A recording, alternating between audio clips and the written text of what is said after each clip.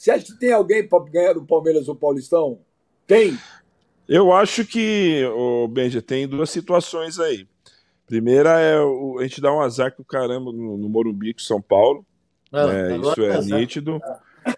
Mas em casa nós agora atropela. É azar, mudou o nome. Ah, vai bem, pelo amor de Deus. E...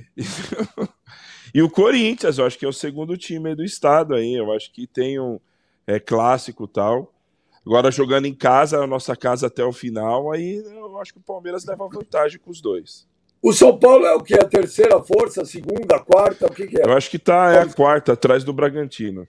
Ah! Ah! Sua! Ô, oh, Beto, eu vou respeitar, cara. Vai, vai dormir, cara. Que, que história é essa? Aqui, você vive em que mundo? Você vive aonde? A quinta é o... Tá São Paulo. A, a, sexta é o Santos, porque tem o São Bernardo na frente. Ah, mas agora tem uma, tem uma tabela de clube, então, ainda do, do, do Brasil e São Paulo. Primeiro é o Palmeiras, segundo é o Corinthians, terceiro é o Bragantino, quarto é o São Paulo, é isso? É, Na de força, opinião, né? sim. Né? Não, agora opinião. sem o Caleri ainda, agora aí, sem o Caleri. Então, você acha que o São Paulo é jogador de um time só? não, não é. Só. Eu acho que é a quarta força. É jogador de um time só, não. É o contrário. É. é. É time de um jogador só. Eu falei o contrário, cara. Você não, mas é. Mente, eu começo a mudar meus pensamentos, cara. Isso que é a bosta, cara. Fico nervoso. Mas.